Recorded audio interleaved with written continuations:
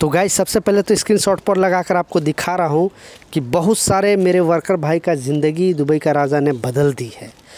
तो ये खलीफ टाइम्स में जस्ट आया है दोस्तों तो मुझे खून सुनकर बहुत अच्छा महसूस हुआ। आप भी ये न्यूज़ सुनोगे तो आपको भी दिल खुशी से झूम उठेगा, क्योंकि इसमें ऑलमोस्ट ज़्यादातर इंडियन है। 50 परसेंट दोस्तों इंडियन है। तो एक इंडियन होने के नाते मुझे भी गर्व रहता, महसूस होता है दोस्तों, कि हाँ यहाँ का राजा जो इंडियन से कुछ ज़्यादा ही और ख़ास लगाव है। तो एक भारतीय हो दोस्तों तो नीचे जय हिंद ज़रूर लिखना, ताकि मुझे भी पता चले कि एक भारतीय होने के नाते हम लोग यहाँ दुबई में रहते हुए, क्योंकि चौंतीस लाख यहाँ पर हम लोग भारतीय रहते हैं। और बहुत शांतिपूर्वक हम लोग यहाँ पे काम करते हैं, लोगों से मिलजुल कर रहते हैं।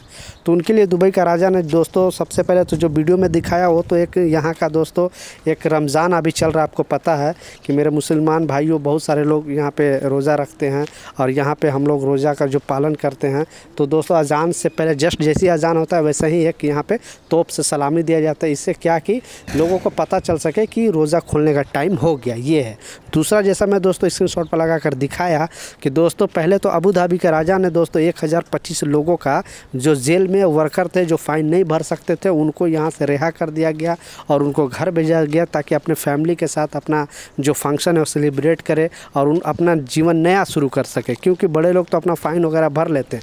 बट दोस्तों, उसके बाद दुबई का राजा कहाँ पीछे रहने वाले, उन्होंने भी दोस्तों बहुत सारे लोगों को, जैसा नौ सौ कुछ लोगों को दोस्तों, वो भी फ़ाइन, ये फ़ाइन भी माफ़ किया दोस्तों और उनको जेल से रिहा किया गया है।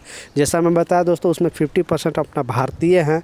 तो दोस्तों, ये सुनकर मुझे बहुत अच्छा लगा। उसके बाद शारजा के भी राजा, दोस्तों, वो भी तीन सौ कुछ लोगों को रिहा किया है, उसमें भी आधा भारतीय हैं, क्योंकि बहुत सारे लोग फ़ाइन नहीं भर पाते हैं। बड़े बड़े लोग तो दोस्तों फ़ाइन भर लेते हैं बट जो छोटो, छोटे कैटेगरी के लोग हैं वर्कर कैटेगरी के लोग हैं, जो अनजाने में किसी तरह से फ़ाइन आ गया तो वो थोड़ा जेल में रहते हैं वो नहीं फ़ाइन भर पाते हैं। तो ऐसे मौके पर जैसे नेशनल डे के मौके के पे, बकरीद के मौके पर ईद के मौके पर मतलब खुशी वाले मौके पर दोस्तों, यहाँ का राजा कुछ लोगों, कैदियों को रिहा करते हैं और उनको अपना जीवन फिर से जीने का एक सिस्टम देते हैं कि आप अपना जीवन दूसरा बार स्टार्ट करो।